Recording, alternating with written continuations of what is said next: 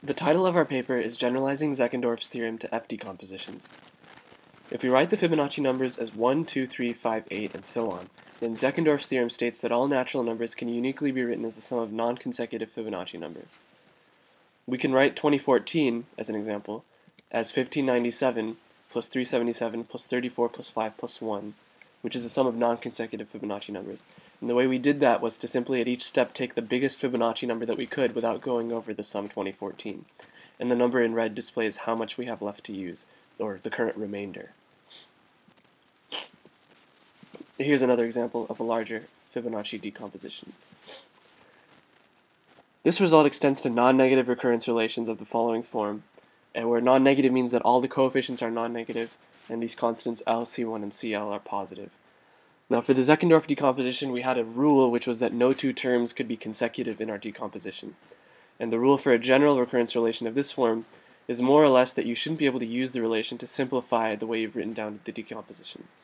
And if you use this rule, then every natural number has a unique legal decomposition.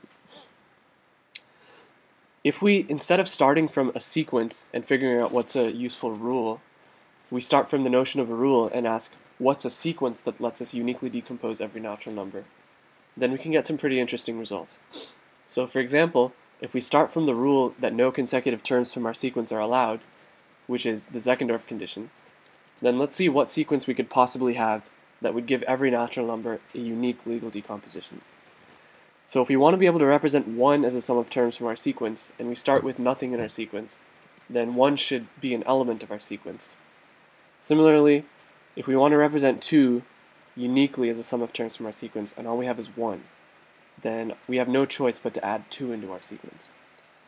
As for 3, we can write 3 as 2 plus 1, but 2 and 1 are consecutive, and we said that that's not a legal decomposition.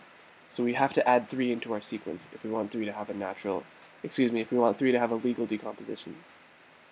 4, on the other hand, can be written as 3 plus 1, which is two non-consecutive terms from our sequence. So that is a legal decomposition, and 4 does not need to be added to our sequence. 4 already has a unique legal decomposition. 5 can be written as 3 plus 2, but 3 and 2 are consecutive, so we need to add 5 into our sequence. And so we keep doing this process, and at each step, you know, we add a number if it can't be written as a sum of non-consecutive terms from our sequence. And if we keep doing this, then the sequence that we get is the Fibonacci numbers.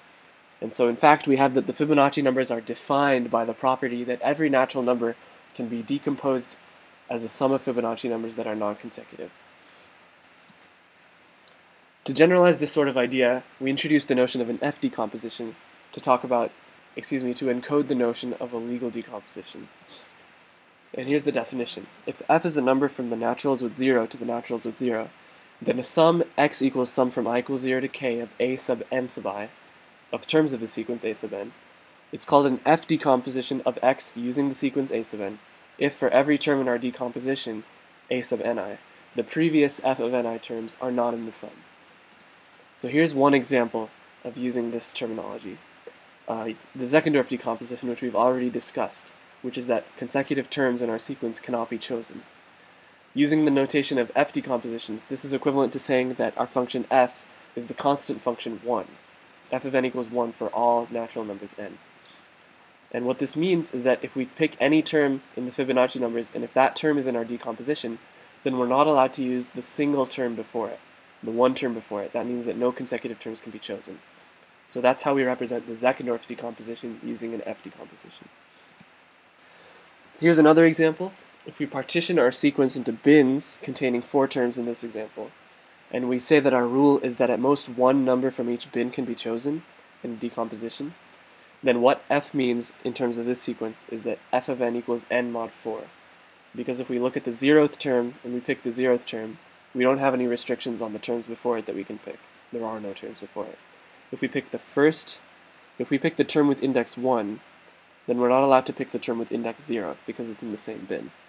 If we pick the term with index 2, we can't pick the terms with index 0 or 1 because they're in the same bin. Uh, if we pick the term with index 5, we have no restrictions because it's the first term in its bin. So we see that f of n equals n mod 4 in this case. And if we construct our sequence a sub n using the process that we used to construct the Fibonacci numbers, then we get 1, 2, 3, 4, 5, 10, 15, 20, 25, 50, 75, 100. And this kind of looks like base B representation because if you notice that we're only allowed to pick one number from each bin, at most one number from each bin in our decomposition, then we have sort of a one-to-one uh, one-to-one correspondence between these decompositions and the base 5 representation of numbers. So we can see that F decompositions are a generalization of both the Zeckendorf decomposition and base B decomposition. The main results of our paper are as follows. First, for any f from the naturals with 0 to the naturals with 0, there exists a unique increasing sequence of natural numbers a sub n such that every positive integer has a unique f decomposition using a sub n. The way we prove this is similar to how we constructed the Fibonacci numbers. Our second theorem is that if our given f is periodic, then the corresponding a sub n from the theorem above actually satisfies a linear recurrence relation. Finally, for the rest of our paper, for certain classes of f decompositions, we studied the number of summands in the f decomposition of a randomly chosen integer in a growing interval, and we found that the number of summands approaches a normal distribution. Thank you for your time.